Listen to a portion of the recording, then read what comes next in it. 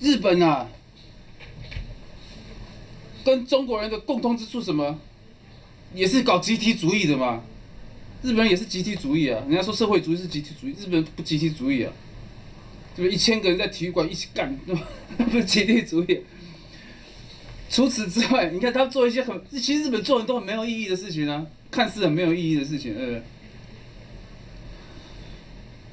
比方说什么骨牌啊，或是搞一些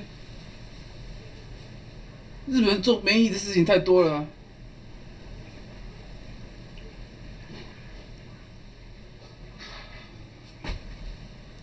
但你说军国主义，中国人不是军国主义吗？你某方面来讲也可以讲军国主义了，对不对？某方面来讲，一直发展军备，军备不是军国主义啊，对不对？现在你怎么太空船啊、原子弹啊、航航空母舰啊？你要讲军国主义也是可以、啊，对不对？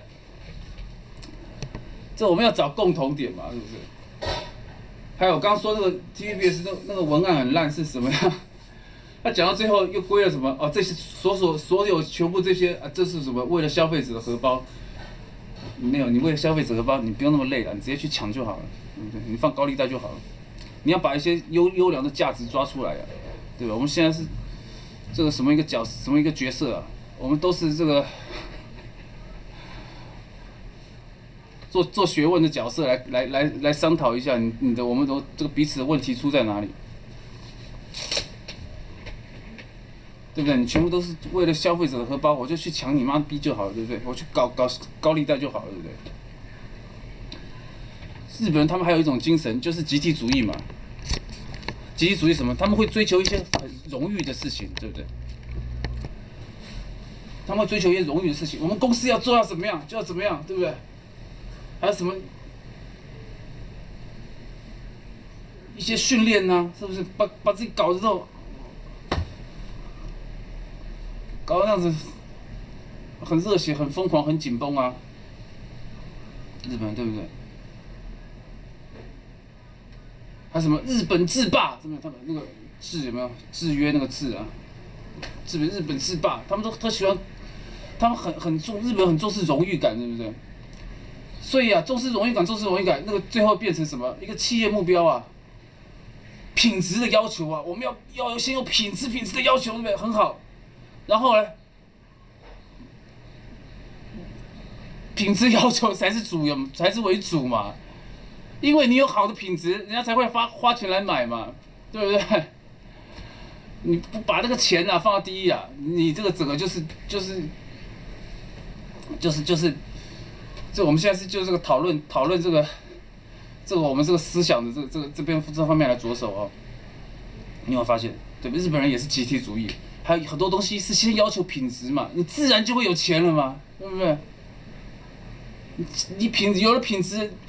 人家就会花钱来买了嘛，对不对？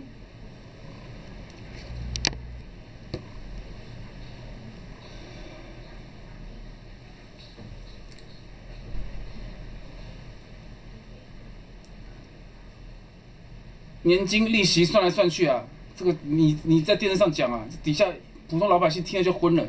哇，你们这些政客很会算是不是？那对我来说怎么算？我算算算，那我去我去妈钱庄钱庄放钱最赚了，对不对？你们也在算吗？对不对？不要把这个东西放到放到放到这个当当成这个最重要的议题来讨论了，这不这不对了。你要把一些把一些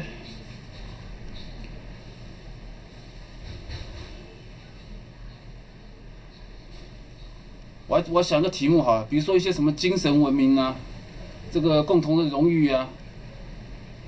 对你不要老老每天讨论什么年金啊，然后什么什么什么利息啊，这个什么工时啊，你这些东西讨论讨论呐。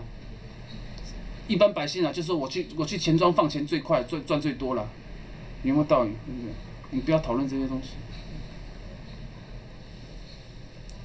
品质的要求啊，才是第一啊，金钱是。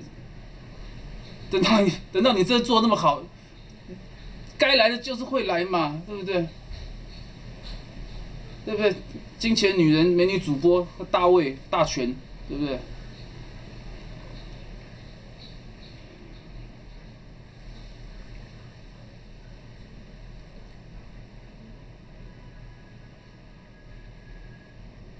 精神文明啊，放在放在前面，精神文明。这你每天讨论那个、啊，人家听了只想去钱庄放钱了，人家听了就想去钱庄放钱，钱庄放钱赚最多了，也不用担心什么我退休以后剩剩剩多少钱了，不用了，我去钱庄放钱了，对不对？我一辈子做高利贷就好了，不要再讨论那种东西。